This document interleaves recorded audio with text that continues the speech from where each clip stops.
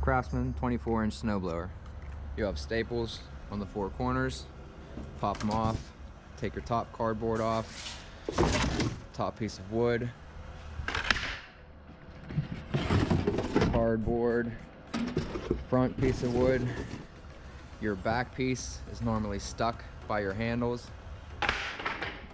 Take your chute out. Cut down the sides of the front of your snowblower. Make sure your bar is out of your way. Roll it right down the tracks. Put your back piece of wood and your bottom piece of wood.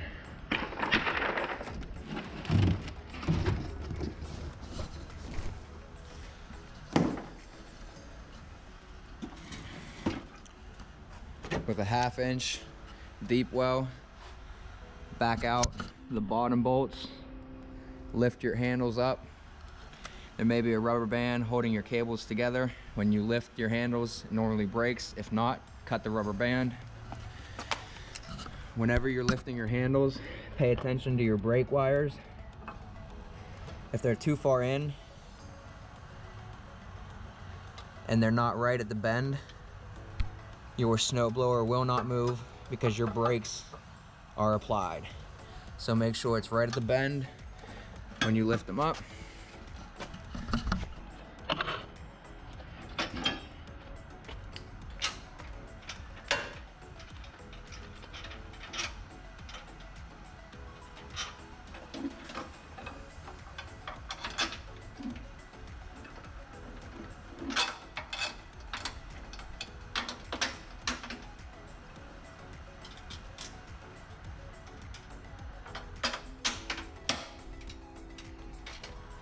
Check your wires again.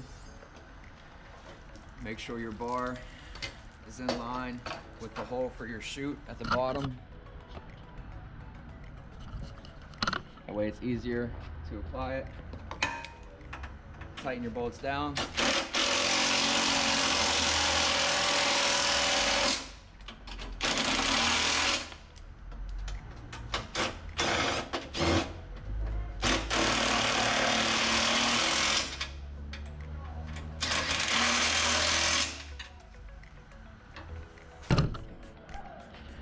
Attach your chute by bending out the locks.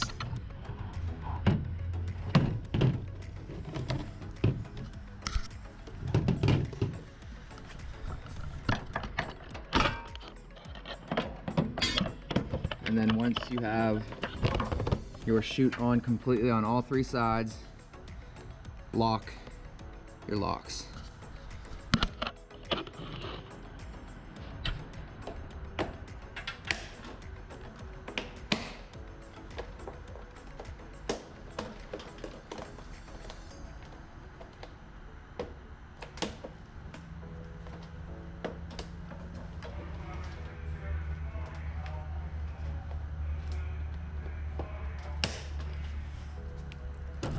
Pair of pliers.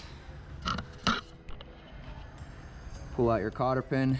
Make sure you don't lose your washer.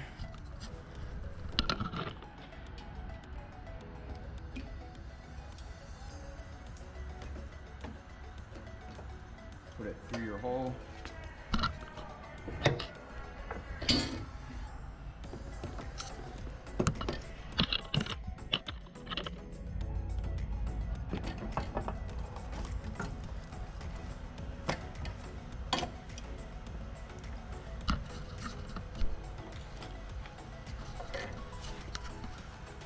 Then washer, cotter pin.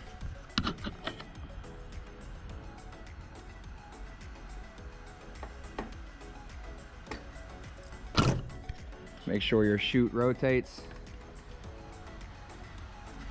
Make sure your snowblower rolls.